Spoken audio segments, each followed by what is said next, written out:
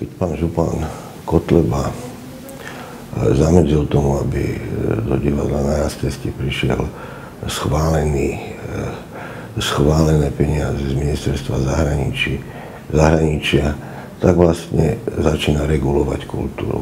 A od regulovania a cenzurovania kultúry je veľmi blízko k regulovania celej spoločnosti.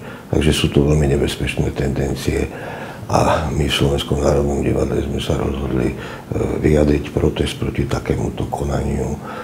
24. E, oktobra budeme hrať inscenáciu Labyrinthy a raje Jana Amosa, kde v spolupráci s nadáciou otvorenej spoločnosti e, pozývame divákov, aby tým, že si kúpia lísky, vlastne pomôžu Banskom Bystrickému divadlu na Rastesti, ale aj ďalším divadlám, ktorých tvorbu a slobodu názoru reguluje župan Bansko-Bystrického kraja.